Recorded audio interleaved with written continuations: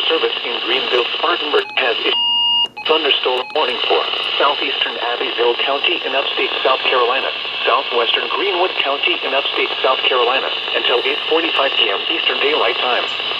At 8:06 p.m. Eastern Daylight Time, a severe thunderstorm was located 6 miles southwest of Greenwood, moving west at 25 miles per hour.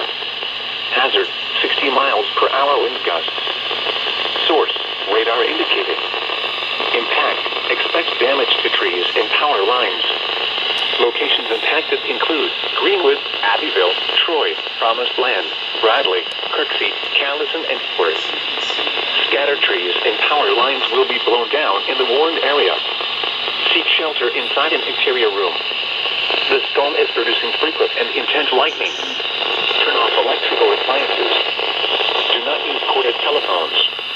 Do not take a bath or shower.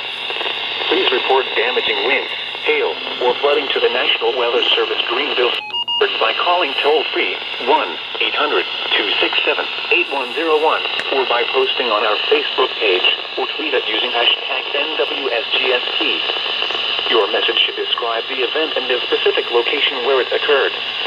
Repeating, a severe thunderstorm warning has been issued until 8.45 p.m. Eastern Daylight Time for the following counties in South Carolina, Abbeville, and Greenwood.